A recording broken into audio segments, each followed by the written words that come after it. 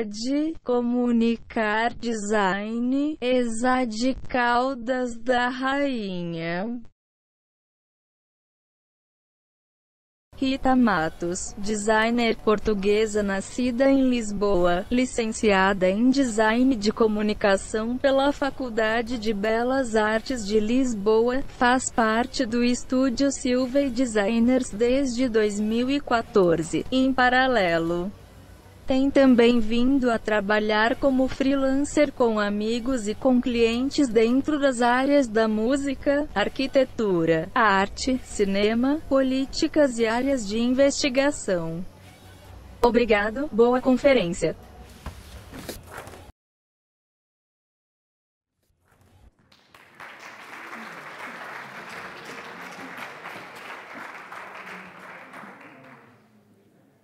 Um...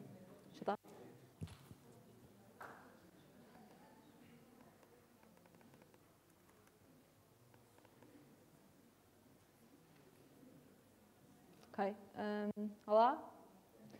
ok, já. Um, um, sou a Rita, como puderam ver pela, pela apresentação. sou uma designer uh, portuguesa, nasci em Lisboa, mas na verdade. deixa eu só ver se eu consigo pôr este microfone a uh, funcionar mais melhor. Estão a ouvir, certo? um, mas, na verdade, tenho vivido na área suburbana de Lisboa, verdade, ou seja, não no centro de Lisboa, sempre cresci e vivi um, lá. Uh, como podem ver, não, não sou muito mais velha do que muitos de vocês, que calhar, aqui. Isto é mais ou menos como a minha vista da minha casa parece, não é muito glamourosa, como podem reparar, se bem que dizer que é de Lisboa é mais glamouroso. Um, eu não sabia muito, nunca soube muito bem o é que era design, nunca foi algo que eu tivesse contacto nem na minha rede, nem na minha família. A única coisa que eu sabia é que gostava de escrever e desenhar, pintar às vezes, uh, não sei, tive uma fase também que gostava de tocar instrumentos. Sempre soube que só gostava de fazer coisas ligadas mais ou menos às artes e, e no secundário tive uh, essa educação nas artes. E depois uh, sabia que não podia sair de Lisboa, ou que ia ser uma, uma dificuldade acrescida, não podia sair do país, não tinha essa possibilidade também. E, e pareceu-me que das, das possibilidades que eu tinha, tinha que, tinha que ir para uma faculdade pública também, nunca pensei em ir numa faculdade privada, porque realmente não, não, não tinha possibilidades para isso. E, e então sobrava-me a Faculdade de Belas Artes e as Caldas, na realidade, foram a minha segunda opção mas acabei por entrar nas Belas Artes e, e escolhi design de comunicação porque eu sabia que gostava de desenhar e escrever, mas não sabia o que é que queria fazer, mas também não sabia que não queria fazer só escultura, nem só pintura, nem só desenho, nem só uma coisa que fosse só aquilo. E então uh, achei que pela descrição se faziam mais coisas em comunicação e pronto, fui. Um, e a verdade é que se faziam muito mais coisas em design de comunicação do que só desenhar e escrever. Uh, acabei por, eh, por gostar um, e, e, e, aprendi a gostar desta profissão e, e, e segui isso. Na faculdade também, uh, nas Belas Artes especificamente, aprendi a ser conceptual, como podem reparar. Este foi o cartaz da exposição de finalistas que eu fiz, uh, foi a última coisa que eu fiz quando saí de, antes de sair da faculdade. Um, foi um dos momentos altos da minha carreira porque alguém fez um meme com o nosso cartaz e publicou na, na escola. Portanto, acho que foi, foi um dos momentos altos. E, e basicamente vou dividir esta, esta conferência entre uh, aquilo que tem sido o meu percurso até agora, que tem sido uh, parte 1, um, uh, um, o meu trabalho em estúdio, parte 2, o meu trabalho como freelancer, ou o meu trabalho pessoal. Um, e nesta primeira parte um, venho-vos falar da minha experiência a trabalhar no estúdio Silva Designers, é um estúdio de design e comunicação em Lisboa e um, basicamente estou lá desde 2014, pouco depois de ter saído da faculdade, uh, três meses sensivelmente depois consegui um estágio um, e fiquei lá desde então. E a verdade é que me despedi este mês, portanto, vou, esta é a minha última semana. Uh, vamos falar disso depois mais à frente. Um, e pronto. Isto somos nós. A nossa equipa tem mais ou menos 10, 10 designers com alguns freelancers uh, a mais. Um, e pronto, basicamente o que é que eu aprendi em 4 anos e 4 meses de trabalho, não é? Porque na verdade não estou assim tão distante de vocês, não estou a trabalhar, não, não sou a pessoa que já trabalhou há 20 ou 30 anos e tem uma, uma, imensos trabalhos, imensas experiências para vos contar, também não sou a pessoa que fez um, um, o projeto da sua vida ainda e que vai falar sobre isso.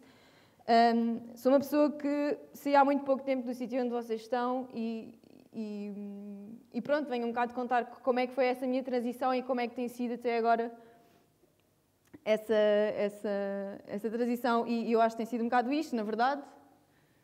Um, cada vez mais difícil. Um,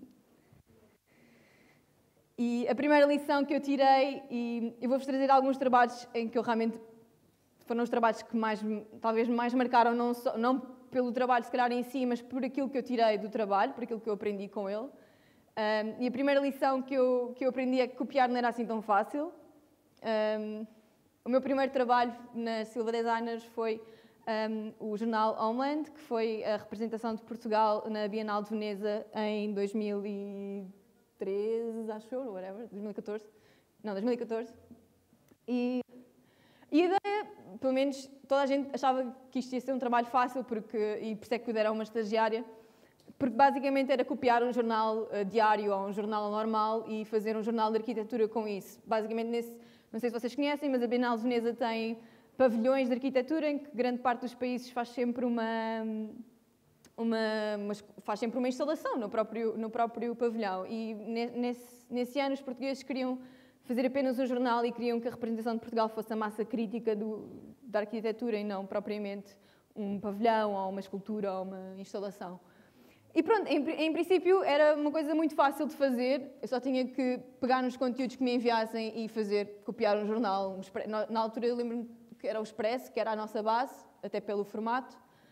Um, e a verdade é que não foi nada fácil, até porque eu nunca tinha feito o jornal. Eu não sabia que o jornal tinha vários tipos de títulos, que o jornal tinha vários tipos de secções, que o jornal tinha vários tipos de, de, de conteúdo. Eu não fazia ideia, pronto, não ensinam isto em design editorial.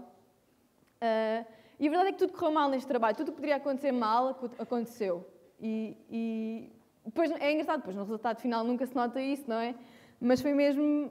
Um, foi mesmo isso, eu pensava que ia ser fácil, mas de repente pediam-me para copiar uma coisa e eu não conseguia perceber a coisa em termos de conteúdo, em termos daquilo, de forma como ela comunicava. Eu só estava a tentar copiar algo gráfico sem, sem ter noção daquilo que estava a tentar copiar.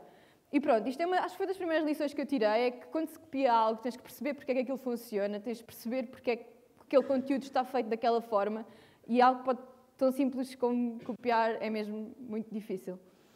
E pronto, tudo correu mal, mas eu safei-me acho eu, pronto, tenho ficar lá. E, e, acho que mais pela questão também da persistência, ou da minha persistência em tentar perceber a, a coisa. E a segunda lição que eu aprendi muito importante é que o contexto é basicamente a resposta a qualquer problema que vocês têm durante o processo. Quando alguma coisa durante o processo não está a resultar é porque vocês não estão a pensar no contexto em que estão a trazer o vosso trabalho. Às vezes vocês fazem uma coisa incrível, vocês acham que está incrível e o cliente diz: ah, não, isto não resulta, isto não, não comunica com nada do que nós estamos a tentar falar. E grande parte é porque nós não estamos, estamos a ignorar completamente o contexto em que estamos a colocar algo.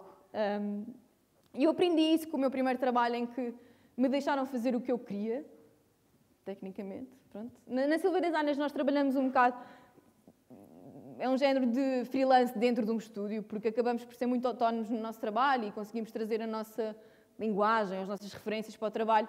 Só que uma coisa que não te dizem é que mesmo que tu tenhas imensas referências e mesmo que estás da faculdade cheio de ideias, cheio de, coisas novas, viste imensa coisa, experimentaste imensa coisa, mas não te ensinam a, a perceber como é que tu aplicas isso a um contexto real ou como é que tu depois percebes até que ponto é que podes puxar ou não pelo trabalho e é, a não ser que estejas a fazer isso sozinho, é muito difícil, principalmente quando tens que responder a uma ideia daquilo que as pessoas vão buscar àquele sítio específico onde tu estás a trabalhar. E isso tem sido a minha maior dificuldade, acho. Um, ou pelo menos foi a minha maior dificuldade no, no início. Eu lembro-me que, um, basicamente, isto é um, um Fórum Eugênia de Almeida, que é um centro de arte contemporânea em Évora. Um, Évora é uma cidade, mas é uma cidade rural, no Alentejo. Uh, é um meio um bocado rural, vá, mas basicamente eles tinham uma nova curadora e a curadora criou uma nova linguagem para o museu. Um, e ela vinha com, as, vinha com as mesmas referências que eu tenho, não é? Dos museus de Londres, museus de Amsterdão, os museus de Berlim, e de repente uh, ela disse: Ah, eu quero uma coisa nova, uma coisa contemporânea, uma coisa. Um, pá, e na altura pareceu-me perfeito, ok, se me deixam, ainda por cima deixavam-me fazer aquilo que eu queria, e eu fui buscar um bocado as minhas referências que tinha na altura, se calhar um bocado mais à escola holandesa, um bocado uma coisa mais depurada, uma coisa mais também a brincar com, com, a, com a coisa, muito tipográfica. Isso é, um, isso é um, uma das constantes do meu trabalho, a questão da tipografia e da palavra e da, e da forma como isso assume um, um, papel importante, mesmo em termos gráficos. Um, fiz e achei fixe e, e mandei e, e, tive um feedback uh, um bocado mau, não é? Basicamente, uh, foi isto que ela me disse. Uh, ou seja, para elas, quando, quando olhavam para, para, as pessoas com quem eu estava a trabalhar, quando olhavam para estas cores e para este tipo de, de linguagem super depurado, elas lembravam-se dos folhetos que viam em Évora, que eram impressos com estas cores, que eram impressos com, esta, com estes tipos de letras um bocado mais, mais retro, não é? E para elas aquilo, aquilo parecia coisas que elas ainda viam lá, mas que eram velhas, que não eram coisas que eram novas, não é? E de repente eu, se calhar, fiz uma coisa super parecida com coisas que eu vi em Amsterdão e em Berlim, ou o que é que seja que estava a acontecer no resto da Europa. E na verdade também havia um objetivo de colocar o museu num panorama mais internacional, mas eu não pensei que estava a fazer isto para Évora, não é? E que se calhar há pessoas que ainda vão olhar para isto e que se calhar o loop as trends ou as modas é um bocado, fazem loops, não é? Loops no tempo. E se calhar em Évora ainda não tinha feito, ainda não havia aquele loop suficiente para que isto parecesse novo, de repente. E, e, e foi difícil para mim perceber isso, ou lidar com isso, não é? Porque de repente não tinha, quase como se não tivesse feito o trabalho de casa, não é? Apesar de eu achar que o trabalho estava interessante, graficamente, ou, ou mesmo em termos de ideia. E pronto, esta foi uma das lições, das segundas lições que eu aprendi, é que realmente um, realmente não é preciso perceber o contexto para que se está a fazer. E acabámos por fazer uma linguagem um bocadinho muito mais depurada, ainda mais do que eu estava a fazer. Eliminámos a fonte, um, que era, um, se calhar, dava um bocado mais aquele ar retro, a fonte condensada, e, e, e fizemos uma coisa mais depurada e um bocadinho mais. Um, também com umas, com umas cores um bocado mais uh, modernas nesse sentido, mais, mais ácidas também. E, e, pronto, e durante dois ou três anos fiz a linguagem do Fórum Eugênio de Almeida, fazia desde um, posters aos folhetos de, das exposições, aos, aos, textos de parede, um, até bilhetes fiz, uh, vouchers, ou todo tipo, tudo que era linguagem que era uh, que anunciava as coisas que estavam acontecendo no museu, eu fiz. Uh, e pronto, acabei por gostar imenso do resultado final na mesma, mas, um, mas realmente foi um processo um bocado difícil de, de, de assimilar e de, de, perceber porque é que eu de repente tinha feito uma coisa fixe e ela não estava tipo, a funcionar. Um, e pronto, esta é a fachada. Como podem ver, tem o edifício de Diana ao lado, não sei se o templo de Diana ao lado, não sei se alguma vez foram a Évora, mas é mesmo ao lado. E, E é isto. E, e das, a terceira coisa que eu aprendi é que, na verdade, ter uma boa, tens de ter uma ideia, tens qualquer ela que seja, tens de ter uma ideia sobre a coisa e sobre aquilo que estás a fazer e tens que saber, para além de teres que saber defender, também tens que, tens que ser intencional, tens, basicamente, tens que ser intencional. E, e o meu primeiro projeto uh, editorial no Silva foi literalmente o redesign da revista 21, que é uma revista mainstream feita pela Fundação José, fundação José Santos, que é uma fundação de, que está associada ao Pingo Doce. Eh, eles lançam os livros e normalmente os livros que nós vemos lá no Pingo Doce são, são feitos por eles. Coisa mais com jornalistas, ligada ao pensamento crítico, atualidade, etc. Pronto, e nós fazíamos uma revista que era a revista 21 e, e nós, ehm, e às tantas, o, o Jorge pede-me para ser eu fazer o redesign da revista. Opa, e de repente eu era daquela pessoa que estava sempre com revistas atrás, sempre com, sempre com imensas ideias sobre, sobre editorial e sempre a discutir isto com ele. Acho que foi também por aí que, que, que acabei por receber este trabalho. Pá, e acabei por fazer assim, um projeto gráfico que basicamente copiava todas as revistas que eu gostava, mas copiava um bocadinho de todas. Que nem sequer tipo, só copiei uma e pronto, assumi que era aquela que eu ia fazer e pronto. Não, comecei a copiar coisas que eu gostava. Mas já tinha uma grande ideia, na verdade. E um dia antes da reunião eu mostro isto ao Jorge e ele diz-me: Isto não é nada, não é? Isto não, não tenho uma ideia, não, não, só tenho aqui coisas que eu não percebo qual é que é a tua ideia editorial sobre este projeto, não é? Que, que, que, que... E eu também não sabia dizer isso, eu também nunca tinha feito isto e não sabia como é que eu deveria fazê-lo. Se calhar devia ter só feito quatro ou cinco. Se calhar preocupei-me em desenhar a revista toda, e soluções gráficas para toda a revista e não me preocupei em pensar naquilo que era a minha ideia gráfica para aquilo, não é? E, e foi bastante difícil, foi a primeira vez que eu, chorei, que eu saí a chorar do ateliê. E nós fomos para uma reunião sem nada e, e pronto. E foi muito difícil, mas acabámos por chegar a uma. Acabámos por voltar a olhar para aquilo e, e tentar perceber como é que podíamos, uh, de uma forma mais intencional, dar vida então a esta revista, que ainda assim não era uma revista de arte, nem era uma revista de moda como aquelas que eu gostava de ver.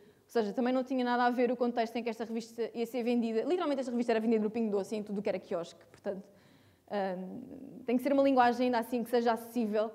Acessível, não é? Não pode ser Uh, aquilo, ou seja, eu estava a comparar um contexto completamente diferente, não é? Uh, e isso também é errado.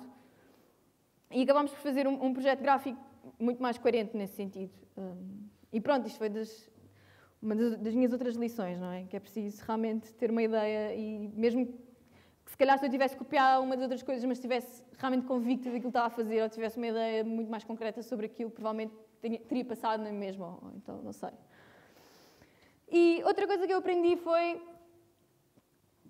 vai haver alterações até que aquilo vá para a, gráfica, para a gráfica e às vezes até aquilo já está a imprimir e está o cliente a ligar, mas podemos parar a impressão porque ainda falta aqui, porque acho que devíamos mudar isto.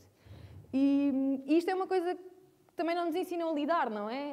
Um, como é que de repente tu tens uma ideia e de repente pá, está tudo a correr bem e depois o cliente acorda de manhã, olha, mas afinal quer outra coisa, estive aqui a sonhar, a minha tia não gosta desta cor, não sei, tipo... E, e é muito difícil porque tu tens que estar acho, acho também há aqui um, outra questão que é a forma como nós às vezes não conseguimos eliminar o fator uh, autor ou o fator ego, um bocado da equação do design, não é? E para mim, para mim isso tem sido também uma...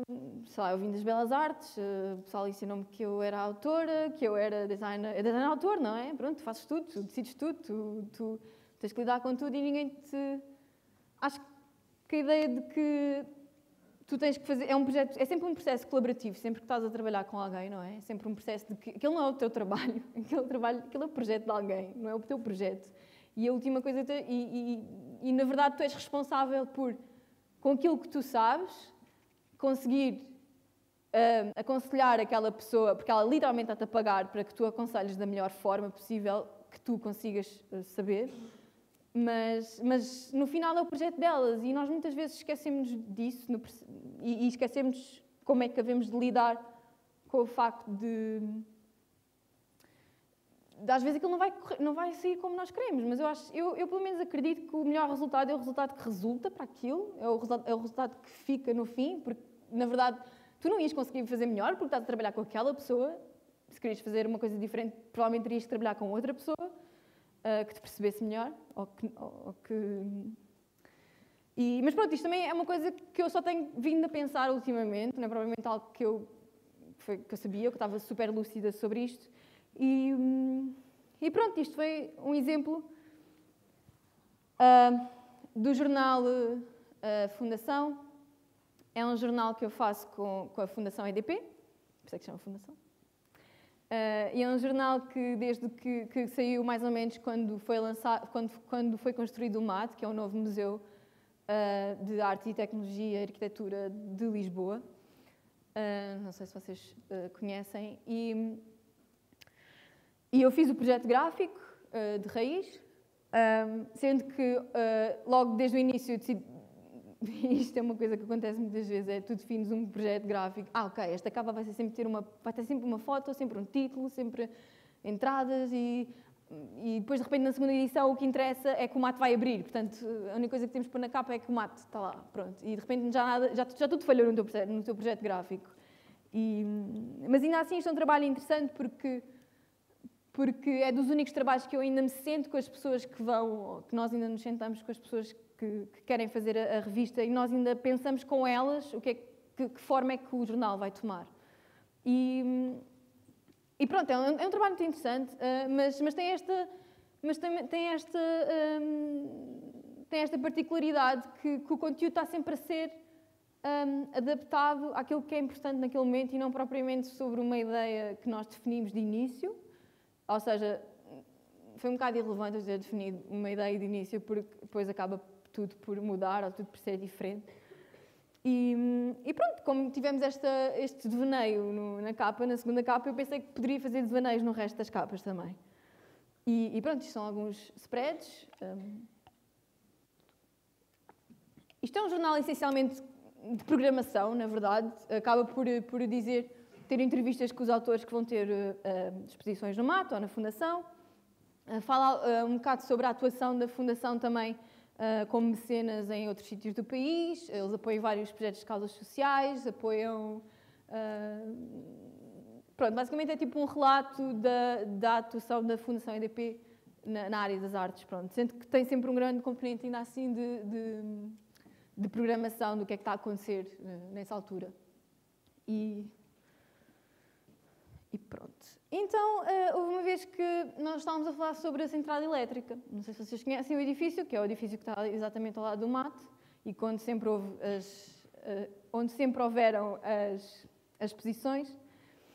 Um, e pronto, eles disseram para eu fazer uma proposta de capa e eu fiz uma proposta de capa que dizia central, porque era esse o tema do, do jornal. E foi a primeira vez que eu tentei fazer uma coisa deste género, até porque já tinha começado a fazer, pronto, sei da história, mas depois vocês vão perceber um bocado onde é que vêm as influências, onde é que vem, um, onde é que começou a entrar este tipo de, de coisas. Mas, mas, pronto, o Jorge aprovou, toda a gente consegui aprovar isto, consegui mandar isto para o cliente, foi assim uma, uma já foi um, uma vitória. E, e o cliente diz-me, ah, diz-me isto. E eu, ok, está-se bem, acho que, podemos, acho que podemos. E fiz isto. E, e pronto, e nós temos sempre versão portuguesa e inglesa. E, e eu mando isto, consegui de novo outra vez passar isto pelo meu diretor de arte, consegui passar isto um, para conseguir mandar para o cliente, mando para o cliente e ele diz-me, ok, aprovado. E eu fiquei, uau, ok, consegui, não, consigo, não acredito que consegui passar tipo, uma capa destas na minha vida, neste momento, neste ateliê. Fiquei super feliz para casa. Até que aconteceu isto, não é? que ele, é que ele me diz isto.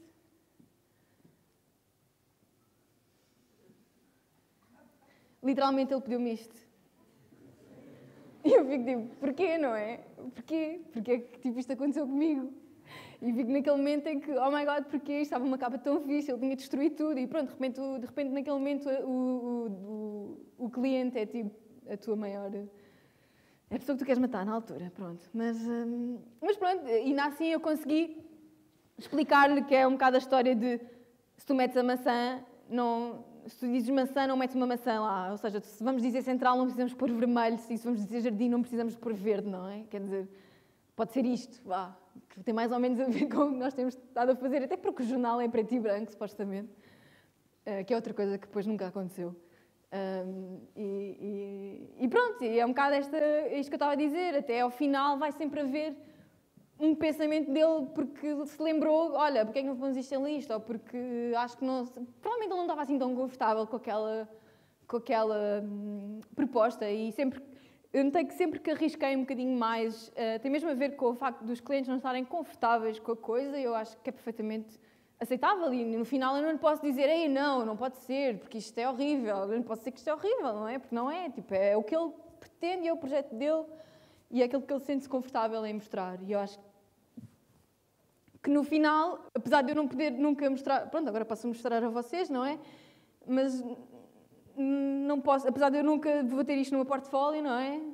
Um, o trabalho é dele e é isto, é isto que resultou, pronto. Mas pronto, eventualmente, quer dizer, a boa notícia é que depois de aprenderes tanta coisa, depois de estares a passar por todas estas coisas, é que eventualmente começas a acertar, não é? Vá. Tipo, há momentos em que tu acertas e o cliente nem sequer pede alterações. E esse momento eu fico, oh my god, o que é que se passa? Tipo, o que é que ele bebeu hoje? Mas, mas acontece, acontece. Tipo, não é só. Não é só um, até porque se não acontecesse, eu acho que não tinha aguentado 4 anos, não é? Pronto.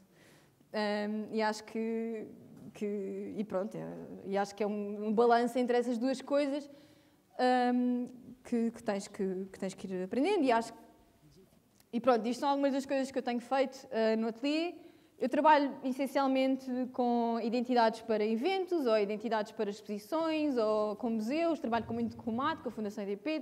Como vos disse, trabalhei com o Fórum Eugênio de Almeida, trabalho com a Gulbenkian, trabalho com, com Serralves às vezes. Um, trabalho com, com mais, em coisas mais efêmeras e depois tenho uh, grande parte do trabalho editorial também. Estou quase todas as revistas. Chegou um momento em quase todas as revistas e jornais que se faziam no ateliê quase eu que estava a fazer. E pronto, isto são alguns dos exemplos dos trabalhos que eu tenho vindo a fazer. Isto foi a imagem para um, as bolsas da Gulbenkian, que são umas bolsas de apoio aos estudantes uh, que ainda estão a sair da, da faculdade, da Gulbenkian. Um, isto é os Dias do Sossego, um evento entre a Casa Fernando Pessoa e a, Casa José Saramago, e a Fundação José Saramago. Um evento em que durante uma semana eles... Um, eles um, basicamente fazem, fazem evento a celebrar a obra dos dois autores, não é? E na, na altura nós achámos que poderia ser interessante um, utilizarmos os óculos dos dois autores, que o Fernando Pessoa, se vocês se recordam, tem os óculos um bocadinho mais redondos, o José Saramago tem os óculos mais quadrados e, e, decidimos que podia ser um símbolo interessante para usarmos na, na, para identificar o, o projeto. Um, isto é a revista Guimarães, eu fiz ainda há uma quinta, são cinco números, era uma revista para o município de Guimarães.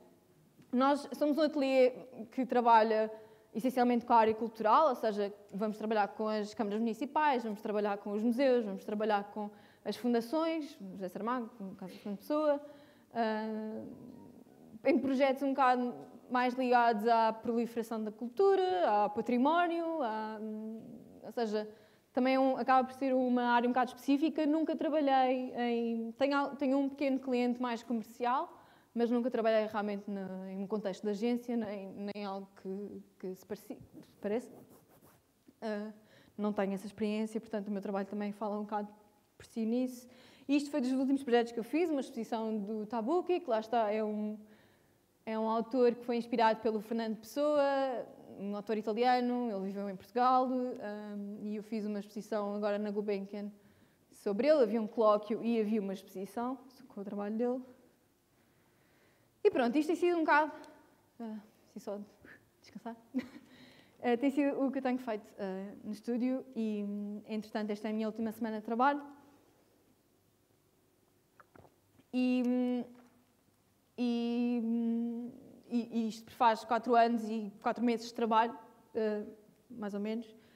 E a razão pela qual eu decidi agora dedicar-me, ou sair do estúdio, tem muito a ver com, com outra vertente que eu comecei a desenvolver, um bocado por esta frustração de achar que, que tudo que eu fazia corria mal ou que não conseguia passar a minha ideia. Às vezes tinha estas ideias e não conseguia realmente passá-las para, para o trabalho, não conseguia sentir que aquilo que eu estava a fazer era algo que eu defendia ou que acreditava. E foi um processo muito difícil para mim e acho que só agora, eu estava a discutir com, com o Jorge, meu chefe, neste, quando estava a despedir, e disse-lhe: pá, realmente eu só agora é que sinto que estou a fazer bom trabalho, quatro anos depois. Só agora é que eu consigo mesmo, pá, eu consigo pegar num projeto e consigo realmente torná-lo meu, não é? Ter uma identidade que eu acho que tem a ver com a minha abordagem, com a minha forma de ver as coisas, mas só agora é que eu consigo fazer essa isso bem, e em parte é porque também em paralelo comecei a fazer um bocado de trabalho.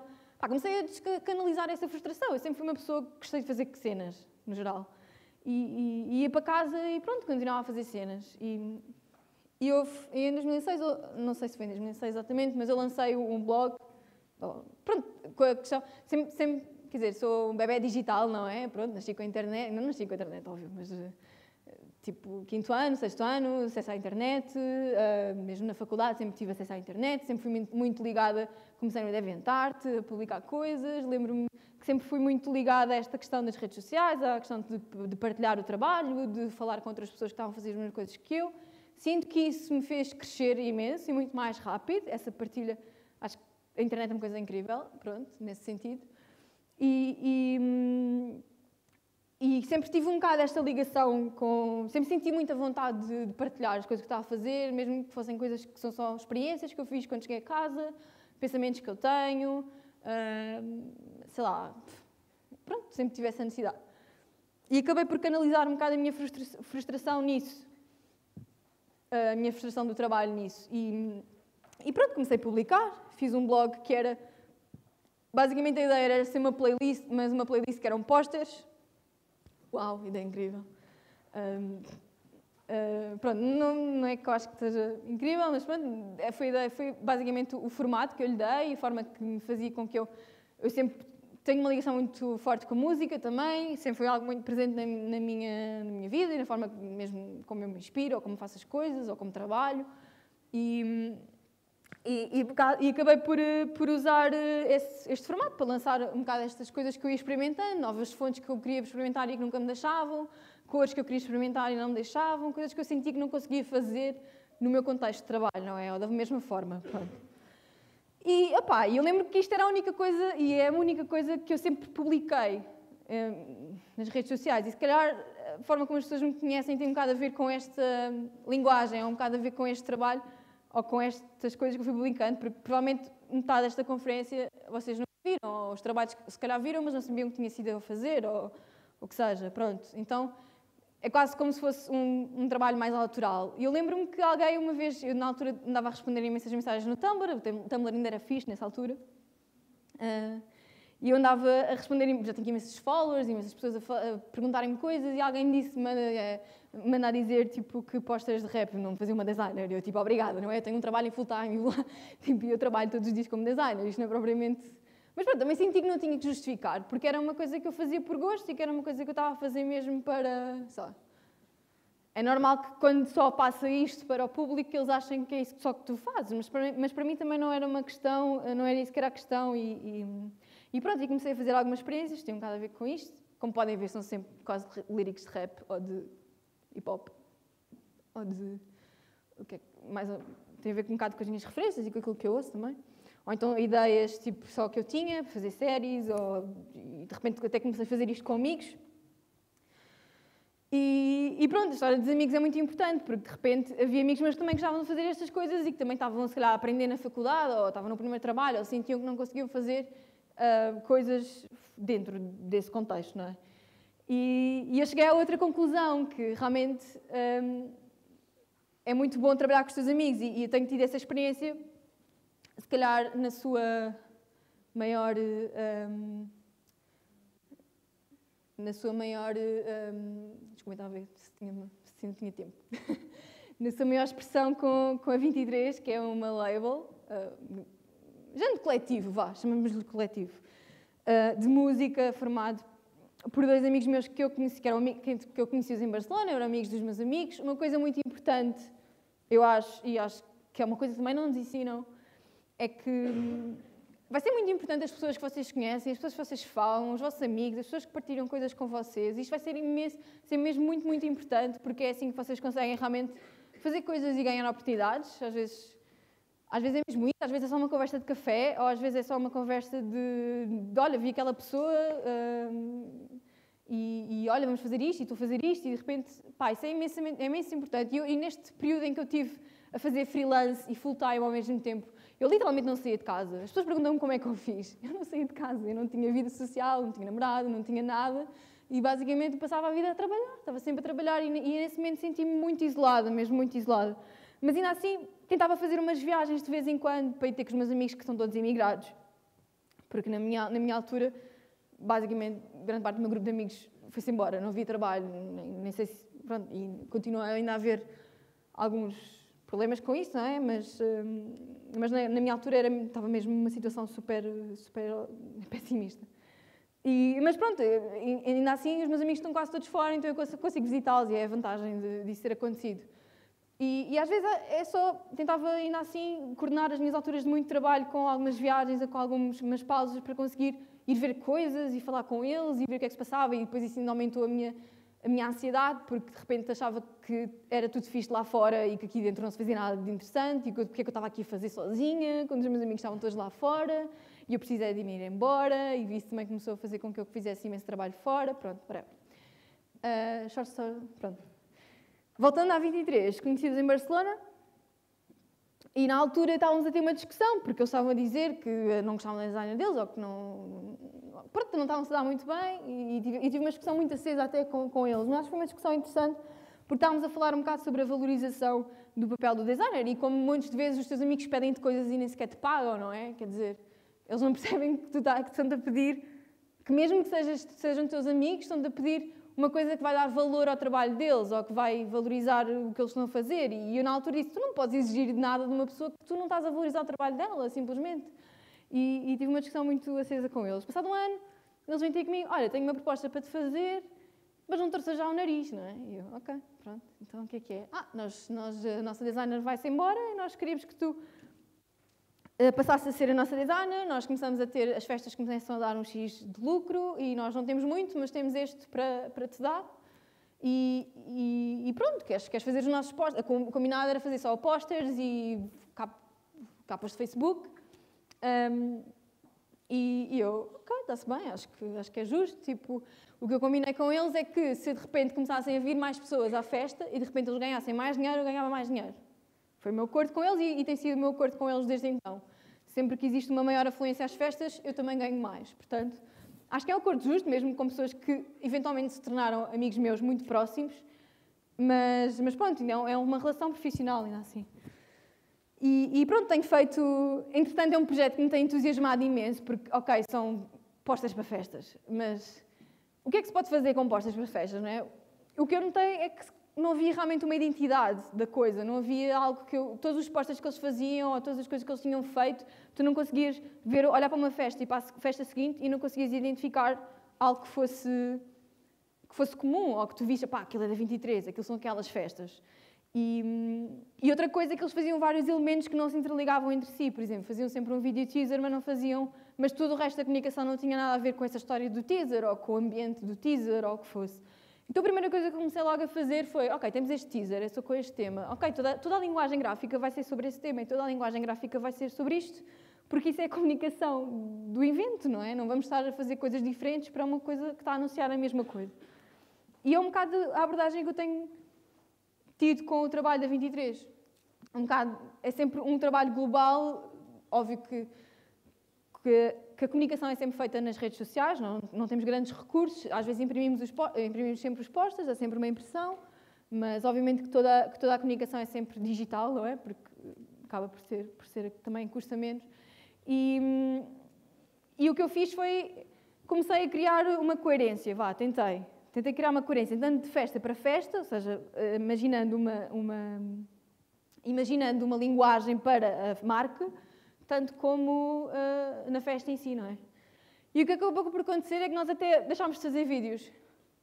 Porque de repente a linguagem foi tão marcante, ou foi tão forte, ou de repente as pessoas já começavam a olhar para aquilo, ok, aqueles são os cartazes da 23, aqui, isto é a linguagem tipo deles, que deixámos, acabou por quase sobrepor, em termos de comunicação, ao, ao resto das coisas que não, que não tinham a ver. E, pai, tem sido um, um ano Estou com eles há um ano e pouco, tem sido um ano incrível. Temos feito imensa coisa, vamos ter mais coisas em breve.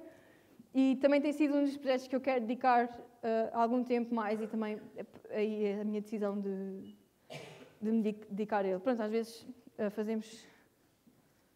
Por exemplo, a minha ideia agora é tornar a coisa, a comunicação das festas é mais como se fossem mini campanhas, ou seja, é quase, há sempre uma ideia, por exemplo, a primeira festa do ano foi Takeover e chamava-se Takeover e basicamente, um, voltando aqui ao póster, eram só pessoas da crew que iam tocar e e eu pensei, ok, vamos, vamos enfatizar um bocado esta ideia que vocês são uma equipa e que nós, vocês, fazem, vocês vão fazer esta festa porque são todos vocês que se estão a juntar neste, neste sítio e vamos passar um bocado esse, essa ideia e também uh, foi um género de, de, campanha que dizia We do this together, we're taking over e basicamente eles iam tocar todos juntos na, nos mais hábitos nesse dia.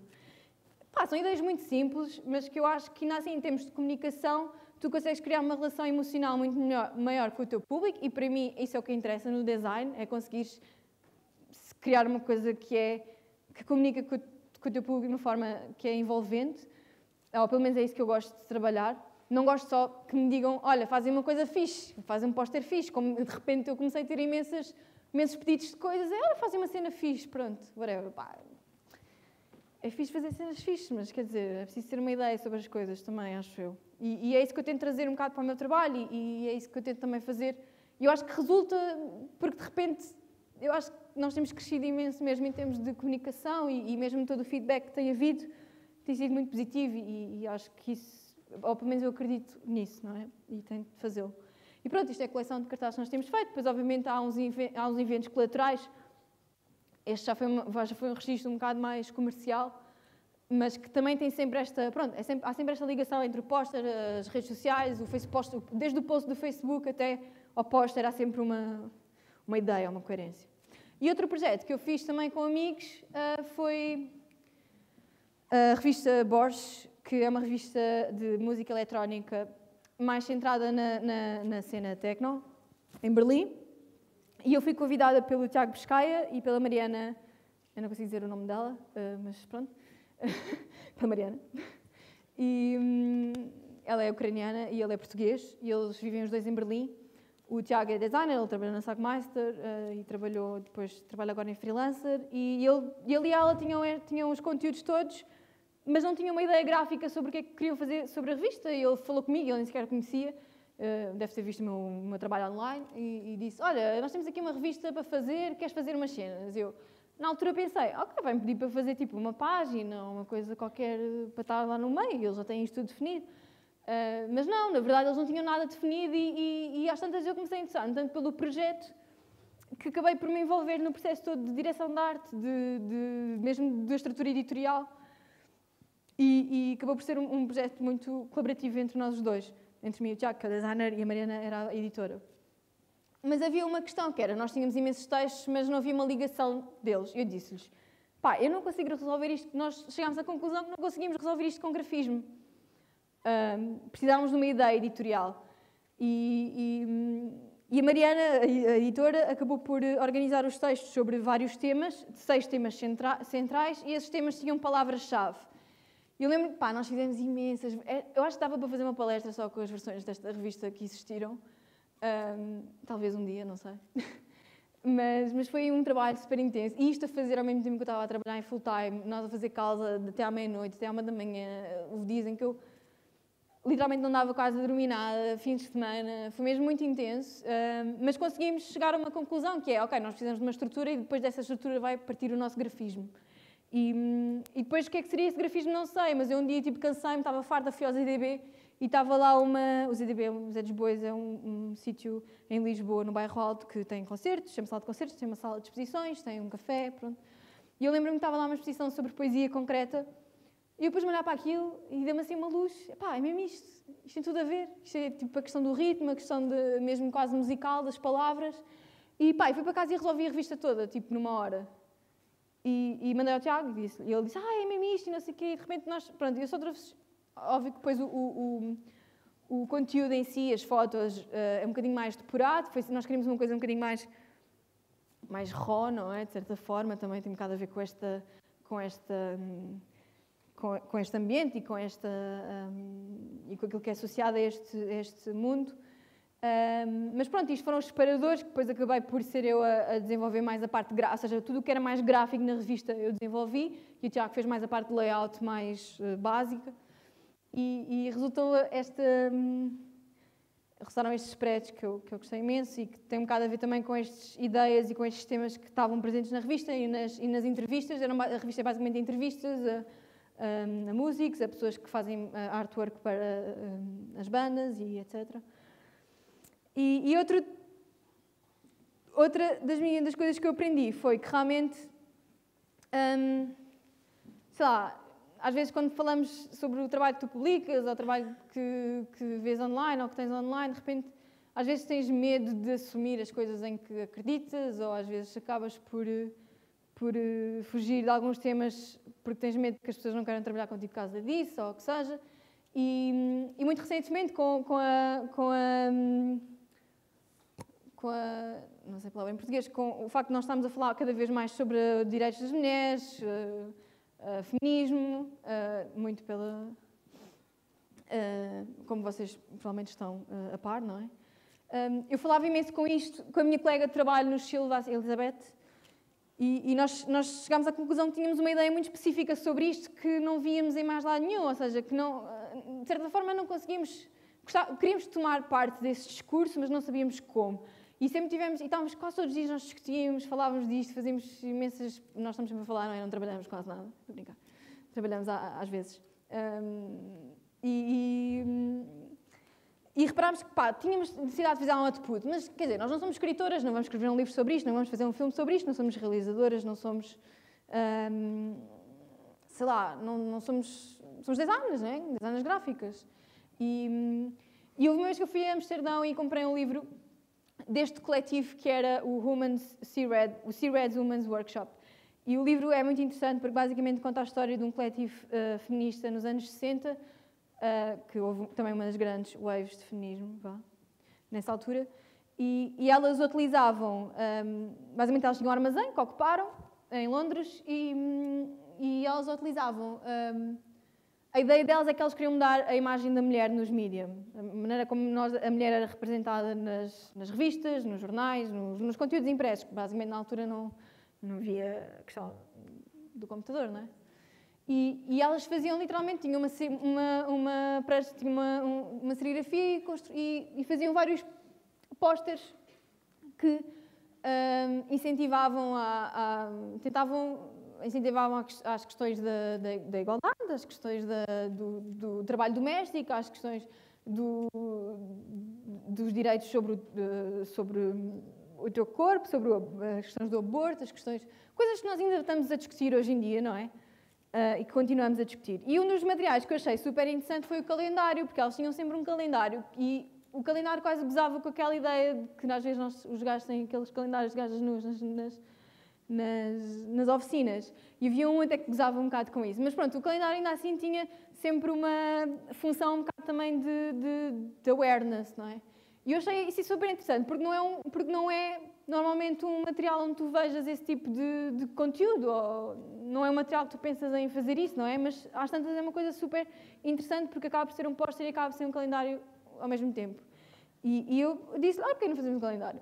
Pronto, e pronto, tentando, uh, tentando apressar um bocado a coisa. Depois nós, na altura, estávamos a ver, a ler, estávamos a discutir bastante sobre uma talk da Shimamanda Ngozi Adichie, que é uma, que é uma escritora nigeriana, que fala muito sobre estas questões do feminismo, e mesmo não sendo de um background cultural que não tem nada a ver com o nosso, óbvio, uh, nós achámos que era das poucas vozes que nós achávamos que era que consegui, pá, que nos relacionávamos com aquilo que ela dizia, porque ela falava daquilo numa perspectiva muito contemporânea.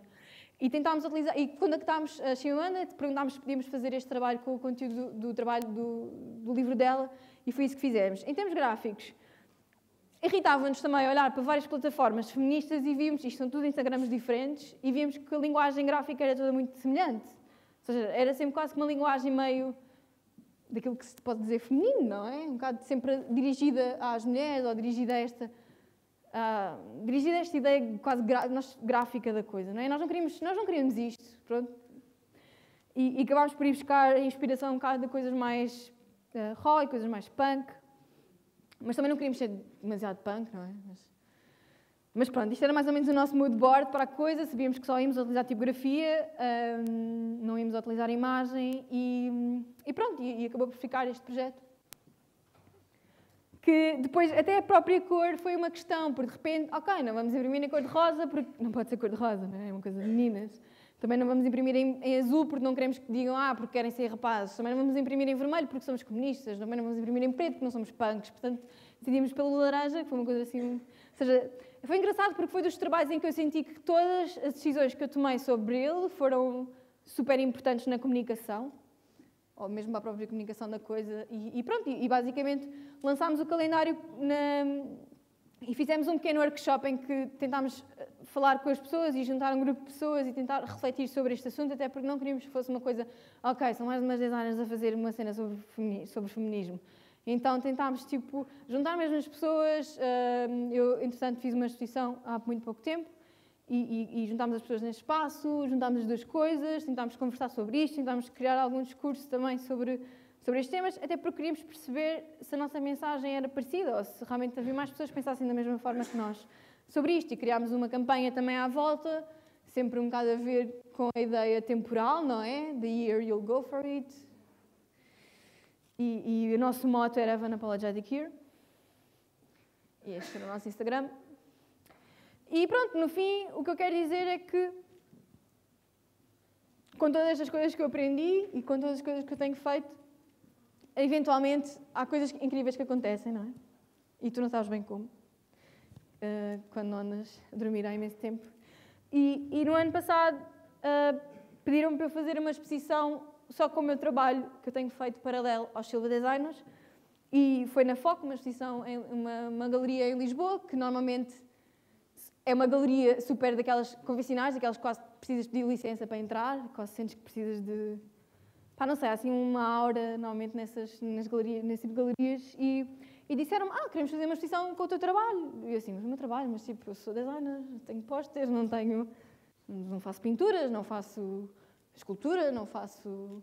E ele assim: Ah, sim, mas isso é que é interessante, nós queremos mesmo os teus pósteres, achamos que tem imensa força, imensa não sei o quê. Eu, ok, pá, achei uma ideia assim um bocado fora, ainda tive um bocado a digerir aquilo, mas depois achei que era uma coisa um bocado punk, não é? De repente meter pósteres numa galeria super, uma coisa que supostamente é tipo quase low art, não é? Que é uma coisa reprodutível, uma coisa que toda a gente quase pode ter, imprimir em casa, todas as imagens estão em iRes no meu site, tipo, é uma coisa que, que acaba por ser, uh, uh, vá, pobre, não é? Entre aspas.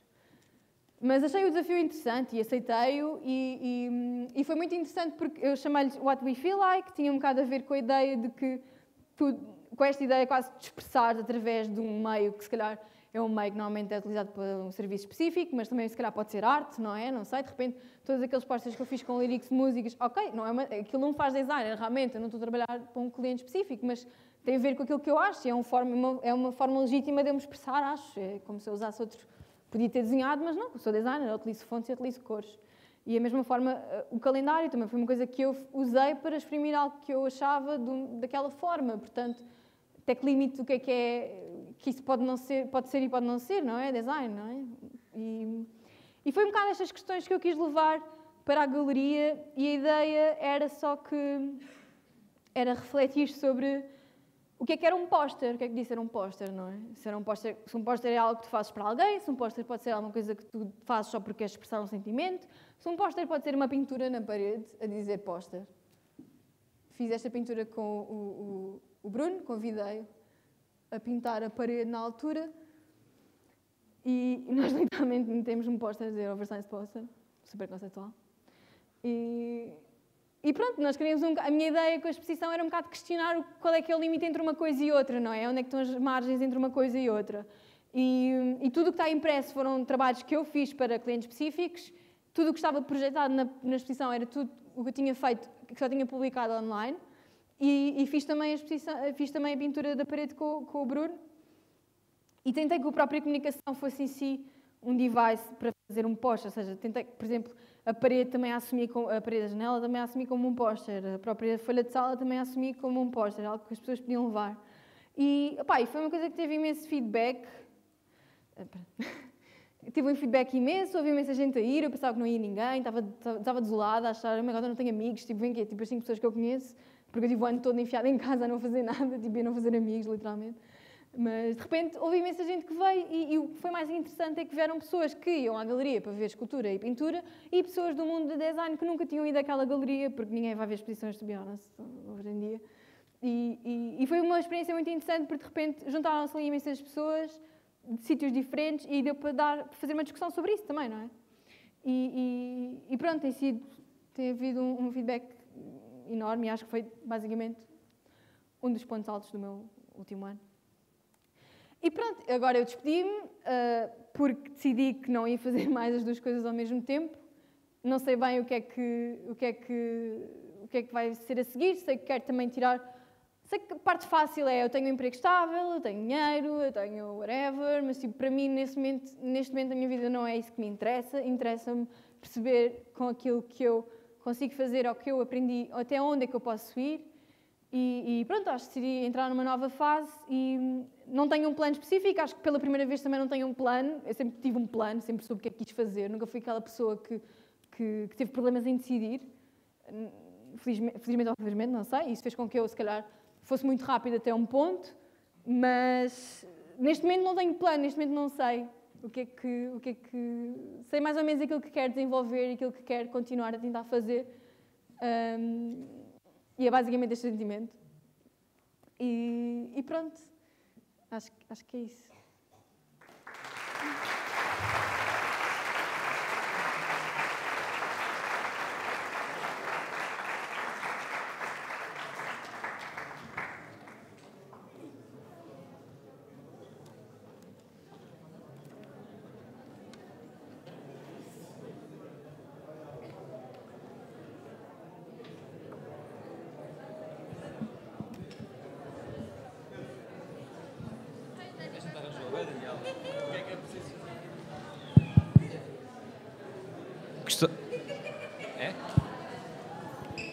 Olha, olha, espera aí, não vão embora ainda. Obrigado. Aguardem só um segundo. Baixem, baixem, baixem, baixem. Obrigado. Hum, era só para saber se há algumas perguntas que vocês gostavam de dirigir à Rita. Normalmente nestas alturas é hábito as pessoas fazerem algumas perguntas. Alguma pergunta que as pessoas gostassem de fazer? Mãos no ar. Estão fartos de ouvir falar já. Diz, diz. Já falei muito. Ainda há pessoas a chegarem. Vamos ficar todos a padecer de vergonha aqui em grupo. Alguém vai realmente fazer alguma pergunta?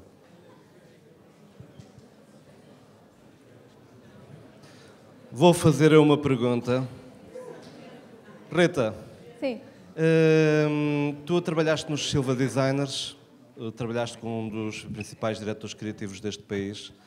Hum, achas que de alguma forma, naquilo que vai ser o teu trabalho no futuro próximo, vais levar contigo esse legado? Qual é a parte do trabalho que é teu? Hum, eu acho que estou a perguntar de certa forma, até a experiência de trabalhares no ateliê, o que é que levas que é realmente teu, o que é que é do ateliê, ao fim uhum. destes anos todos, quatro anos ainda bastante tempo. Como é que tu distingues de doravante aquilo que é teu e aquilo que tu aprendeste lá? Eu acho que é impossível não uh, ser influenciada por isso. Até eu acho que o tipo de designer que eu sou, esta preocupação com a comunicação, a preocupação com a tipografia, a preocupação com o lado editorial, com a, mesmo com a narrativa editorial do trabalho, eu acho que isso tem tudo a ver com o, com o sítio onde eu fui parar, não é? Eu Silva Design, não sei se vocês conhecem o trabalho, mas o trabalho do Jorge tem sido muito esta com o trabalho editorial, não é? Com esta ligação com a tipografia, com a palavra e com a, as coisas mais simples ou mais banais do dia a dia, não é? Eu acho que isso, sem dúvida, vai ser algo que eu nunca vou. Sei lá, acho que está tão enraizado já na forma como eu penso e abordo os trabalhos. toda a questão, obviamente que toda a questão prática de discutir com clientes, discutir, eh, defender o meu trabalho, eh, ser, lidar com o facto de ter alguém em cima de mim a dizer aquilo que eu tenho que fazer ou avaliar o meu trabalho sem ser o cliente. Tudo isso são coisas que eu podia ter aprendido, se calhar, noutro contexto, não é? Pronto, são coisas que, vais, que vais aprender e que, e, que, e, que, e que aprendes durante o processo. Mas essa é mais essa, eu acho que o core do meu trabalho tem muito a ver com aquilo que também é a forma como eu trabalho no ateliê ou como, ou como aprendi a fazê-lo lá. Por isso eu acho que isso nunca vai sair da minha forma, da minha abordagem. Acho que é impossível. Eu acho que se tivesse sido parar num sítio completamente diferente, provavelmente o meu percurso se calhar estava a ser completamente diferente também. Conspiras criar o teu próprio ateliê? Como quê? Conspiras com, eh, criar o teu próprio Ai, ateliê? Não, muito nova. Juntar amigos, trazer pessoas para ti fazerem um projeto contigo? Não, eu gosto muito de trabalhar com pessoas. Eu acho que não consegui trabalhar sozinha e este momento de freelance vai ser mesmo também para eu pegar nos meus amigos e olha, agora pessoal, agora fazer coisas, não é? Sim, aliás, uh... até porque falaste muito da questão da amizade sim, e das sim, relações. Sim, sim. E para mim isso é uma questão muito importante. Eu não gosto mesmo de trabalhar sozinha. Acho que não gosto, nem que seja uh, com uma relação muito próxima com o e, sou, e acho que sou um bocado chata nisso. Às vezes há clientes que não gostam disso, há clientes que não gostam de ter um designer muito próximo deles. Às vezes só querem, ah, faz uma coisa fixe e pronto, e cala-te. E, e, mas eu sou um bocado chata nisso e gosto mesmo de criar uma relação com as pessoas e acho que isso também é uma coisa que, que aprendi no ateliê, um bocado esta questão de aproximação do designer ao cliente, que é uma coisa que se calhar noutros contextos em que há uma hierarquia maior também não existe, não é? Se eu conseguir uh, fazer um ateliê, opá, sim, eu acho que isso é o sonho de qualquer um. Eu acho que sou uma pessoa, eu acho que sou uma pessoa daquelas, eu sou daquelas pessoas que eu gosto de estar à, à, frente das coisas, não sou, não sou aquela pessoa que gosta de. Acho que, acho que me imagino nesse papel. Para já, não sei, eu sei que dá muito, muito trabalho. É um trabalho enorme, é uma coisa, uma responsabilidade enorme. Uh, principalmente se tiveres uma equipa dependente de ti, ou sei lá, não imagina a responsabilidade e o trabalho que isso dá. Portanto, neste momento quero mais explorar e, e, e pá, se eventualmente foi para a área aí, sim. Eu acho que vai, vai, vai acontecer de alguma forma. Eu não sei como nem quando, mas sim. Pronto. Obrigado, Rita. Não sei se alguém quer, tem mais alguma pergunta. Temos ali uma pergunta do lado de lá. Alô, olá. Uh, tenho duas perguntas. Uma muito simples, que é: uh, costumas desenhar tipos ou costumas usar comprados ou free? Uhum. E a segunda pergunta é: como é que consegues orçamentar um projeto que tens interesse em fazer?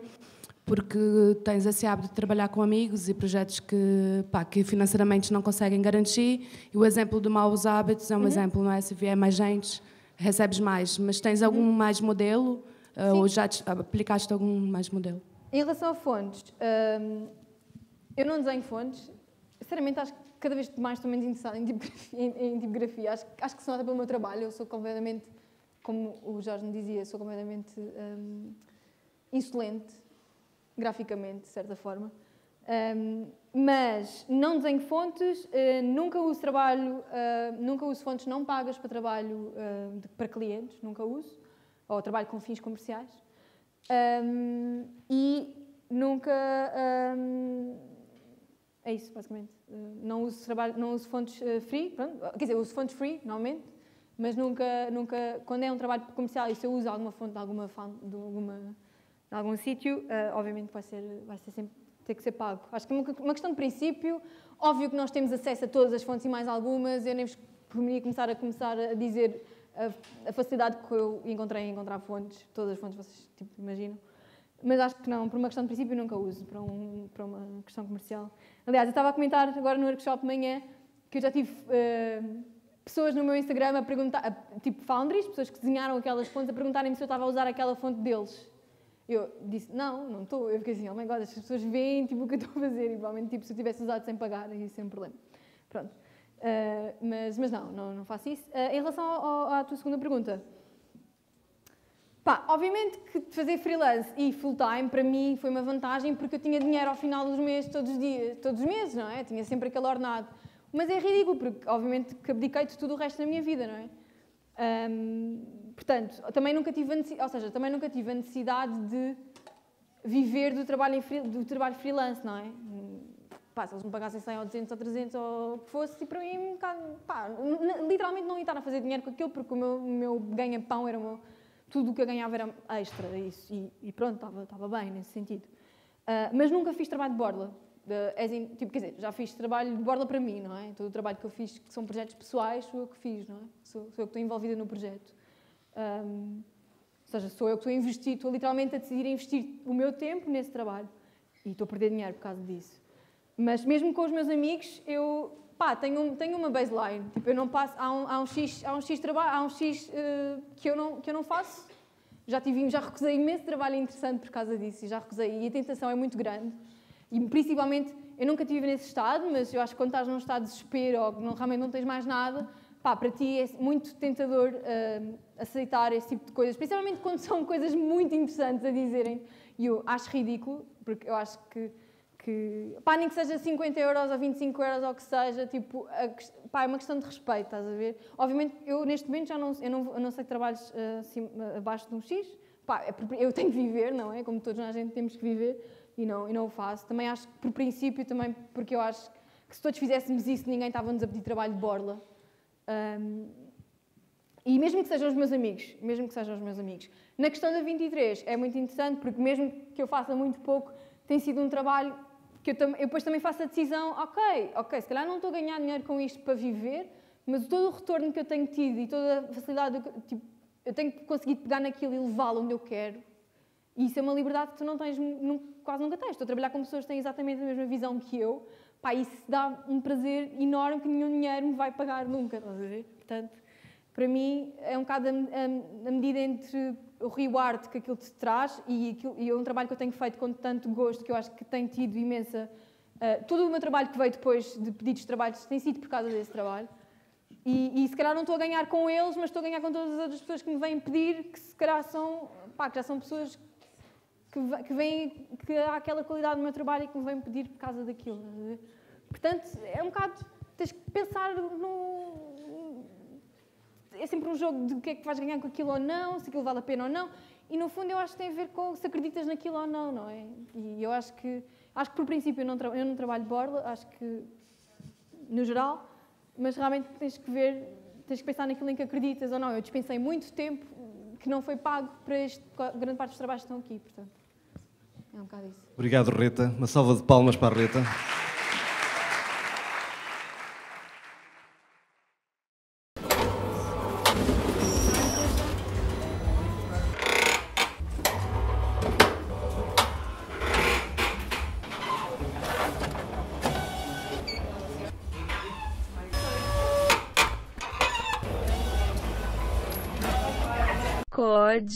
Comunicar design exadical das da rainha.